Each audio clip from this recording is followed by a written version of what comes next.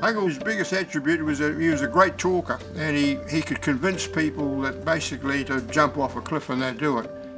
When Dad got involved in the business, he was already the fourth generation of the Clark family in the clay business. So, you know, it really was already in his blood.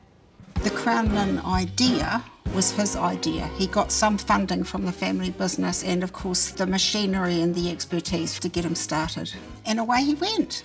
They were a very solid family that cared about other people and gave a lot of work.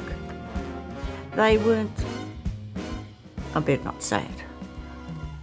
I was going to say up themselves. They weren't, none of them were